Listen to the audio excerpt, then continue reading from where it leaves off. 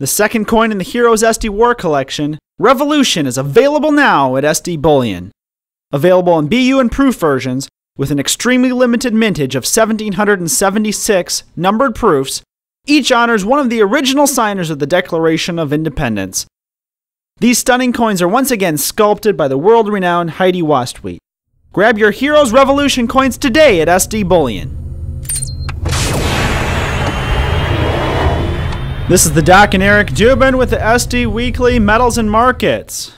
Joining us today is a special guest, a member of the, the silver and gold community, and uh, he's joined the Sprott team as the investment executive at Sprott Global Resource Investments. Um, we're pleased to welcome Tekoa Da Silva to the show. Pleasure to be here, guys. Thank you. So a little bit of a good timing here for Tekoa as um, he's in Vancouver this weekend at the Natural Resource Symposium at Sprott. So we're going to get to hear a bit of an update uh, from Tekoa on the ground at uh, the Sprott Symposium over in Vancouver. So we're excited to hear about that as well, Tekoa.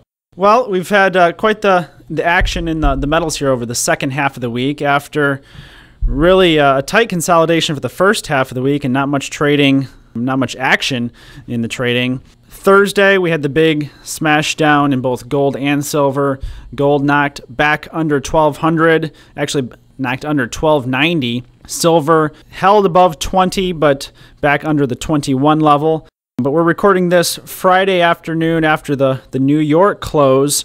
And in the access markets um, in the afternoon here on Friday, uh, silver is putting in a, a, nice move to the upside, back above 1250, actually, uh, or 2050, actually uh, trading above 2075 right now, late afternoon on Friday. And gold also has just recovered uh, the 1300 level and is looking like it wants to uh, close around uh, 1310 here for the week. So, what's your take, Eric? The takedown around another options expiration, and then the strong recovery here to close out the week. Options expiration is next week, so it's actually a good thing that we're seeing the bounce back today.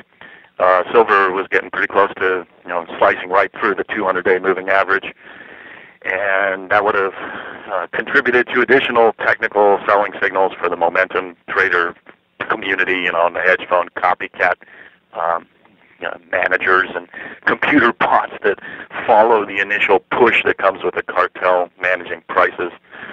So, you know, I mean, it's disappointing to see this thing happen over and over and over again, and we've certainly been here time and again. And earlier in the week, we had to go through the whole process of um, you know, Janet Yellen's, um, know, testimony, and, and it's, you know, th- these things are actually that was last week if memory serves. These these patterns happen over and over again, and, and here we are with an options expiration being uh, one of the highest probability uh, periods of time windows where the cartel seeks to push prices down. But the strength today and the inability really to keep prices down on a sustained basis suggests once again that this is just all a part and parcel of the managed retreat process we've been watching for months and that because the cartel and central banks in particular, but also private vaults um, like the GLD's inventory of gold and you know other private vaults, all having been looted for all intent and purposes last year aggressively to execute the price suppression in the face of unprecedented demand all points to the fact that you know the cartel is going to have a lot more difficulty keeping the lid on prices going forward. So that whole managed retreat thesis that Bill Murphy always speaks about at GATA, I think, is what we're witnessing. And we probably will not get over 20, 24 testing 25 by the end of this month, but frankly, it's only going to be a matter of a couple of more weeks beyond the end of this month before that happens, if in fact the assessment is correct about the cartel having lesser ability to keep prices managed, and I think that's what we're seeing. With Tekoa on the show, I know um, a lot of our regular listeners and Silver Doctors readers, Tekoa, uh, also we're big fans of uh, your blog site and uh, your podcasting site over at Bull Market Thinking. You put out a lot of really excellent interviews over the years. I'd like to give you an opportunity here to just to talk a little bit about your experience of joining the Sprott team, what it's been like, kind of transitioning from a precious metals uh, news analyst and podcaster into uh, an investment executive with Sprott, um, what it's been like to, to, work professionally for Sprott, and um, just what your experience has been like over the past six months. Sure. Well, first, I want to thank you guys for the work that you put out there, and in particular, how kind you guys have been to me since day one in my interview creation and publishing work. Because when I first started, the only people who would be responsive and supportive uh, were the audience members. Uh, when I started out, uh, a lot of people wouldn't take my call, and that included IR representatives for many mining companies and their salespeople. They're supposed to take those calls. wow. So, um, I, I, with with with great fondness, I, I look upon your site and, and and think about your audience as regular people just like me and you. But getting to your question there, how it's been so far with Sprott, I joined Sprott Global, uh, Rick's office over in Carlsbad uh, in February, and it's been just a an exciting and amazing experience. I spent the first number of months learning about securities and regulations laws. How I got there was pretty exciting and amazing. Uh, I, I started out really from home uh, with my first interview, just calling somebody on the phone, and that person was nice enough to take my call, and then I kept calling and kept dialing, and, and people would talk to me, and it was and it was amazing, and I asked them questions that I things that I cared about, just like you guys are doing, and then publish the work, and, and other and thankfully some other people thought that that the work was okay, and and so they kept coming back, and so I kept going, but I wouldn't have been able to do that again had it not been for the audience members, the people listening, and the people coming back every day and supporting the website. And so that's so important.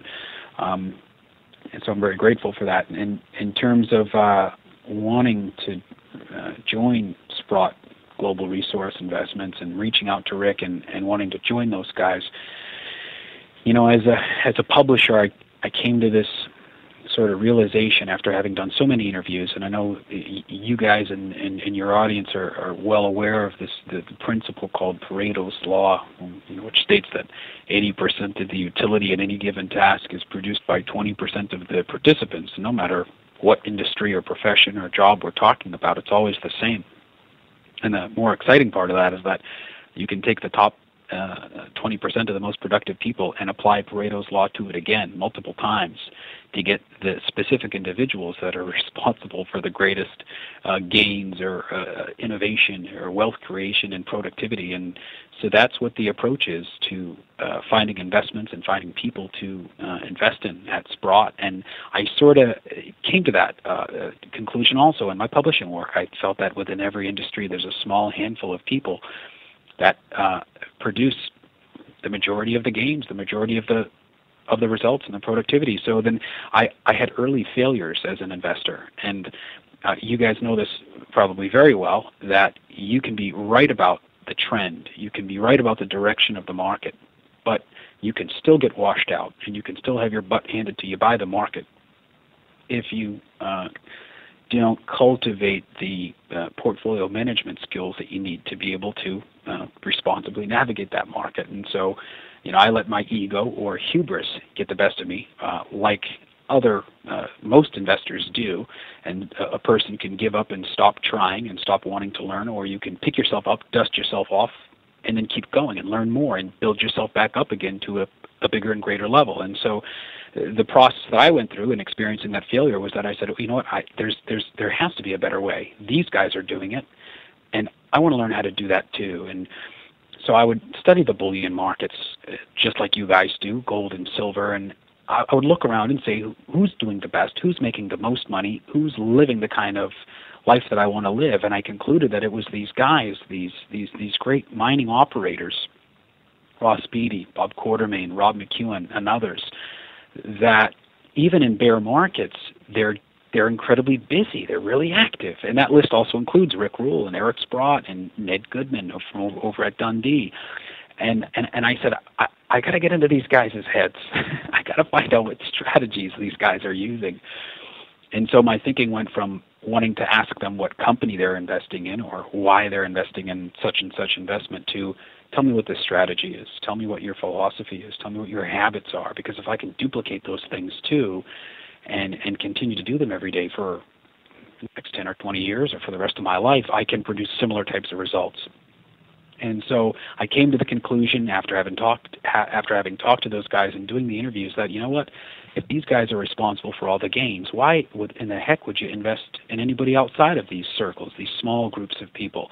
Why not just you know, make as someone asked me, uh, Tekoa, there's this really exciting company. It's got you know great prospects, a, a small mining company. Uh, what do you think about investing in that company? I said to the person, you know I'm not sure that I trust that CEO. Uh, so I'm going to hold back. I'm not going to invest in that because I'd rather make a dime with someone I trust than a dollar with someone that I don't.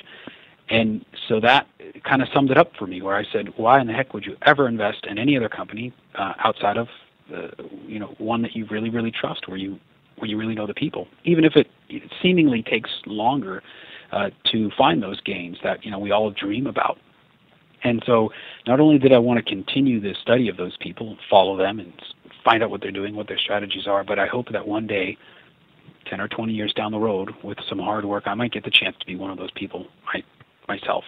And so that's when I reached out to Rick and, and, and the team there at Sprott, and they were kind enough to let me in there, and it's been exciting, and uh, uh, it's, it's been great. On a going forward basis, do you envision yourself as being more focused on investment management and things of that nature as opposed to uh, moving into further publishing and analytical work and interviewing people and so forth? Right. So the publishing work and doing the interviews has been has you know I implied such a great learning experience, and I want to continue doing that. Uh, not as much, but uh, occasionally as a means to, to to continue to share the knowledge from inside that organization with the public because it's so darn valuable. Um, yeah. But uh, yeah, I'll be slowly migrating more and more into the investment management side of things and analyzing companies, and, and hopefully I can pull that information over and you know share it with you guys and uh, other media groups. I know the um, investment community outside of Sprott would appreciate that because you've built up a, an audience over time that will miss you if you're not out there occasionally tossing a good article out for the public to read. So keep a one toe in the water there. yeah, yeah. So uh, again, the audience is is fantastic, and uh, I really want to continue working to um, um, uh, to be a servant, if you will. I read your interview with Mario Draghi, our wonderful ECB banker extraordinaire, former executive with, with the Goldman Sachs Group, and just wondering how did that actually unfold? Did you just bump into him in a conference, or how did you manage to get some Mario to speak to you? Right. Well, so I, uh, I was in Brazil about a year ago, and then I came back to Boston uh, to do a couple things, and I was sitting in, in, in Harvard University library. Uh, for uh, people listening, I, I I never completed a, a college degree, but through my experience with the publishing, I I said, you know what, I want to be with the world's best, and for some reason I went over there and I was going to start registering for some classes, and I was sitting in the library. Uh, I picked up the Harvard Crimson, which is the school newspaper, and I opened it up, looked down, and it said Mario Draghi tomorrow night in the uh, Harvard Kennedy Hall. And I said, "Wow, wow, wow! What a coincidence! How great! The stars are aligned here. I'm going to go there and get him to talk about gold." And um, so that's so that's what I did. I, he, I felt a little bit awkward and, and you know um, sort of self-conscious because they, a lot of these kids came from you know really uh, maybe elite families, if you will, and this kind of thing, and, and uh, everyone's kind of vying for space and, and, and pushing to get in there. But I said I'm not going to let the opportunity pass or let any of these other people get ahead of me. And so I went in there and and in my question wanted to pose it in such a way that to, to brush off gold as not having very much value to sort of draw out from within maybe any any any any bullish or or any positive sentiment that he may have towards um, towards the metal. And it turned out that yeah, he uh, had something nice to say about that, and it was, it was pretty interesting. Well, Tekoa wanted to give uh, opportunity here to uh, give our listeners uh, an update on the Natural Resource Symposium going on right now in uh, Vancouver, as we're uh, lucky enough to to have you. We're recording this show today, Friday. Um, uh, is joining us by phone uh, from the, the conference in Vancouver. So, if you, just uh, for a minute or two, give our listeners uh, an update on the conference. Yeah, it is an incredible event. It's different than any conference I've ever been to. And the, the positivity and the interest and the commitment of the attendees is uh, so much more intense than I've ever seen partly because of the fact that you know many of them paid eight hundred dollars for a ticket to be there, and the who's who of the resource and precious metals development world has been here. Bob Quartermain, Ross Beaty, uh, Robert Friedland, Rick, of course, Doug Casey, and the Casey Research team, and lots of just uh, younger guys. The next, the Casey Research's next ten uh, guys, and uh, all the all the great developers who don't necessarily jump into the spotlight and and, and are a bit less well known.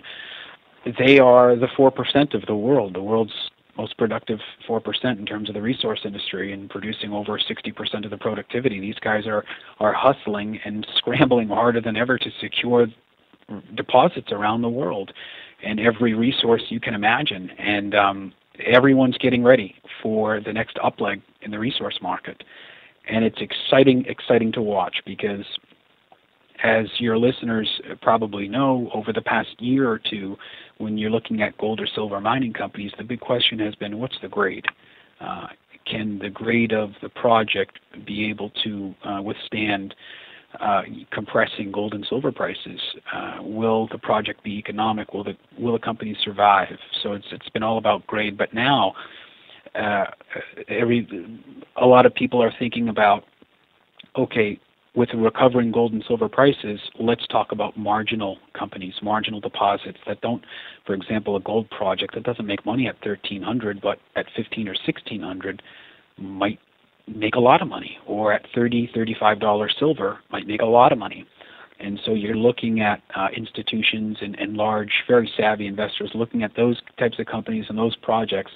And uh, in a interview that I did with Eric last year, he talked about that strategy, and uh, Eric Sprott, I should say, and uh, and I'm, I'm sure you guys follow that quite well as we move back into the the up leg, the next boom of the resource market.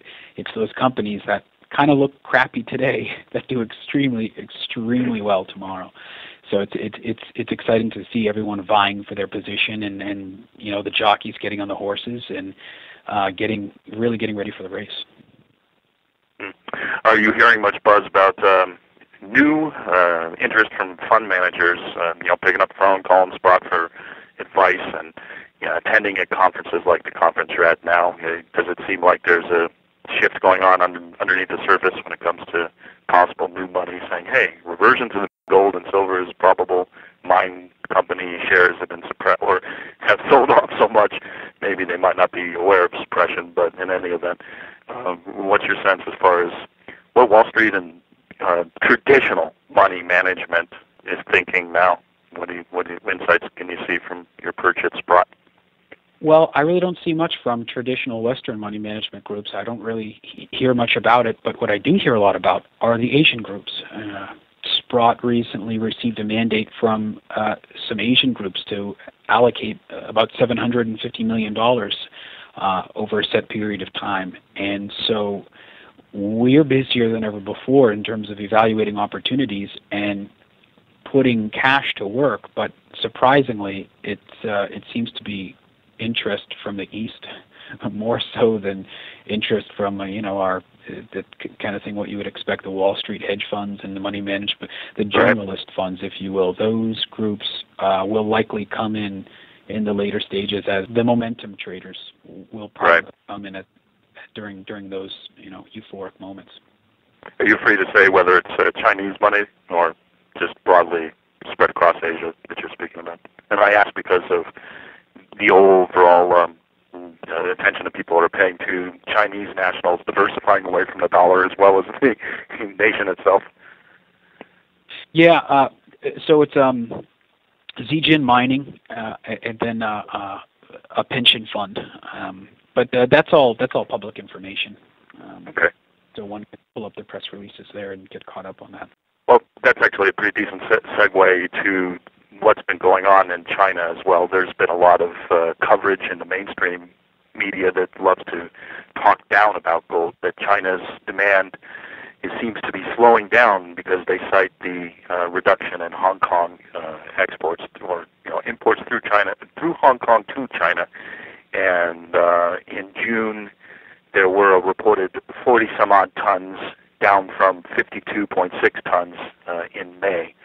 And uh, I, I even warned about this a couple of shows back that we would continue to see these type of reports as we oscillate back and forth. I mean, the, the context being that even though there's a reduction uh, 40.5 metric tons in June is still a heck of a lot of gold, and that's quite a run rate on you know on an annualized basis.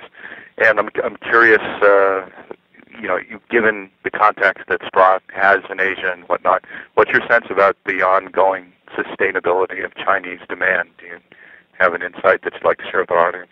Well, uh, on the short term, specific consumption numbers, I can't really comment on those. I think to me it strikes me as just short term noise. I think the long term trend is your friend, and I, I think the fundamentals are intact, very, very much so. And I think that one of the things that I started saying after being a publisher for a while was this idea of, you know what, don't come and, and, and, and constantly visit my work and don't spend too much time. Try not to watch the news too much. As a matter of fact, I don't really watch the news. I have some investment uh, news publications that I go to, but but that's it. And I think uh, most of that is just uh, short-term noise, and it could be distracting uh, to what one's real, true, ultimate aims are. And I think that should be on a daily basis: is to work as hard as you possibly can and save and invest, save and invest constantly, um, and not and not and not be too bothered by the uh, commentators who might um, paint a negative picture uh, uh, on the on the on the short-term metals numbers. Because longer term, the trend is intact. Switching gears a bit, uh, earlier this week we had news that the BRICS discussions about establishing development bank systems as alternatives to the IMF and World Bank Bretton Woods system uh, is moving along at a breakneck speed. Uh, we've had the BRICS conference in Brazil, and uh, as it stands, they've announced a $100 billion plus bank that will uh, help to stabilize currencies when there are ever currency crises, like back in 1997. Many of our audience members would remember that. Uh, and you know, the Asian uh, economies at that time were beholden to the mercy of the financial system and uh, lending from IMF and uh, you know various ways in which to backstop what was then a pretty significant financial crisis. And now, uh, as the BRICS countries uh, together comprising um, a you know share of the global economy that's pretty close to the combined economy of the United States and the European Union, it's really no surprise to see um, the development of what's going on now with all of these alternative financial systems that, in time, will know, put a great deal of pressure on the dollar-based system. So I was wondering if uh, you could comment a bit about your perspective on where's the you know dollar as a reserve status currency and as a trading status uh, currency going to be, say, you know, a year time forward or two, three years? Uh, I'm sure you have given that some thought and would love to know how you see that uh, evolution coming about. Sure. A lot changed for me after the experience of living in Brazil for a few years, and um, it really changed my perspective on uh, the economic and financial structure of the United States uh, especially in comparison to other parts of the world. And I had traveled a bit, but I, I didn't actually live in another uh, economy as a as a as a as a complete full residence. One thing I'm reminded of in thinking about that question, it was back in 2006. I had a condo and I was younger, and I started learning about what was going on with the deficit and and the uh, the control that China the power that they have in, in terms of their treasury holdings, if they wanted to dump them, and the, the, the control that they could exert over our, our, our interest rates. And so I said, wow, I got to sell this thing. I got to get the heck out before the crash occurs. And then a couple months later, I said, great, you know, slapped my hands together and said, I'm out. Now I'm ready for the crash. And 2007 came, 2008 came. We did have a financial market crash, but that ultimate thing that I was waiting for, the sky high interest rates, inflation, the end of the dollar, doomsday, you know, all these kind of that never happened. And um, and I started to be feel that that that things take a, a long time. Change change takes a long time, but that isn't to say that there aren't tipping points. As Malcolm Gladwell talks about in his book, The Tipping Point. You know, when the glass of water tips over, everything looks fine for quite a while, and then all of a sudden you wake up and the entire world looks different.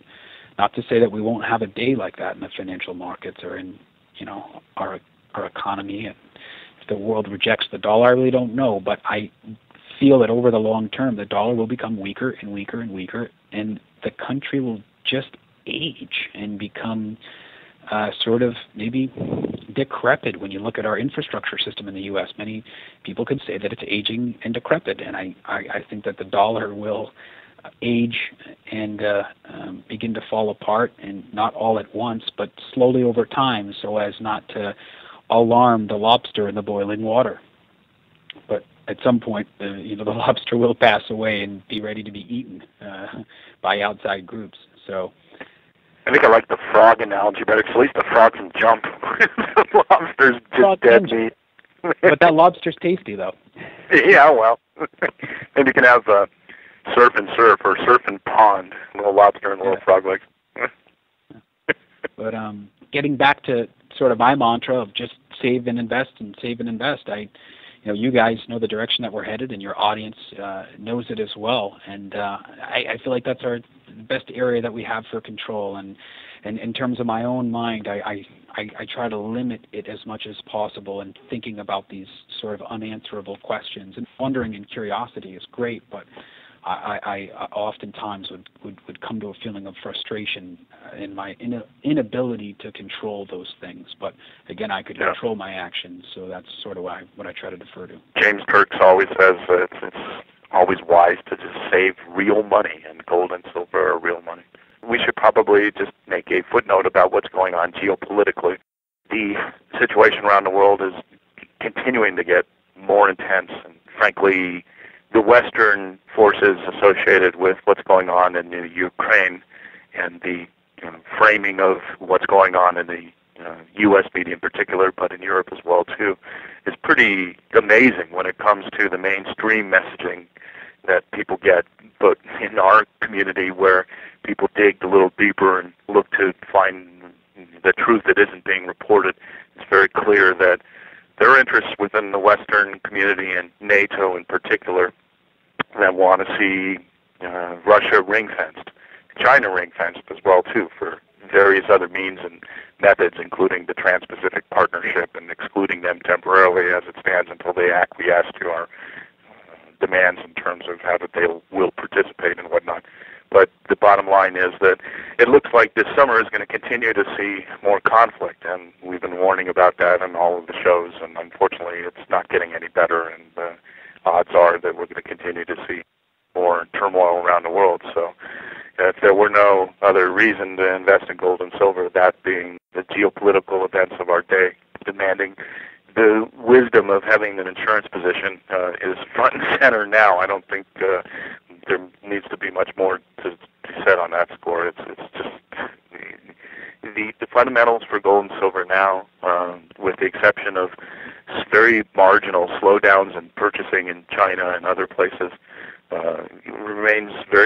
very and there will continue to be this battle between the paper pushers versus demand for physical metal, and uh, during the course of the you know more stronger seasonal period of buying right in front of us, uh, and, and combining that with the geopolitical, there should be uh, continuing support for higher prices in gold and silver going forward. So, uh, stackers of the world unite because you need your insurance against the craziness of the geopolitical.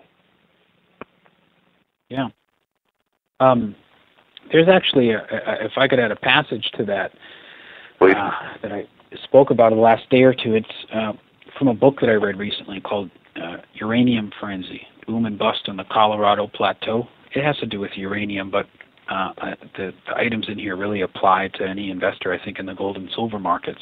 And uh, there is this man uh, named Floyd Odlum, who was an industrialist and uh, financier of the Great Depression era. And uh, if one wanted to look it up on page 25, oh, excuse me, 125, Floyd uh, noted that he said, I saw a strange situation. The public's confidence had dropped so much that the investment trusts were priced lower than the value of the stocks they owned. So for five dollars, you could buy a share of Trust X that owned securities of railroads and factories that were selling for ten dollars a share. It was a wonderful spot for someone with nerve and cash. End quote. So I thought that was a really interesting uh, comment that was in that book because there are various calculations that a person can use in determining a potential price for gold and silver. Uh, you know, bar napkin kind of things when you compare it against the quantity of paper money units that are out there in the world. And the same thing could be applied towards the mining shares if one were to look at the value of the deposits and so forth. And I think having the idea of uh, being uh, willing to buy being willing to be greedy when others are fear, fearful, that's the formula that when you follow that again and again and again and again throughout your investing career and you don't sit at home all day and think about whether or not what you, whether or not you should do it but but but just do it. Uh, that's not an investment recommendation by the way.